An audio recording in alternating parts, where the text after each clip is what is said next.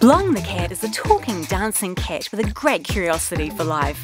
And Blong the cat's costume caper, Blong goes shopping to buy a special outfit to wear to a wedding. It is so much fun that Blong dances in front of the mirror with each outfit. Emma thinks everything Blong tries on looks wonderful, but her twin brother Ethan doesn't want to be involved. What costume will Blong finally decide on? And how will the story be resolved when Ethan is thoughtlessly unkind? This is a story of costumes, numbers, and dancing, all wrapped up in a bow of kindness.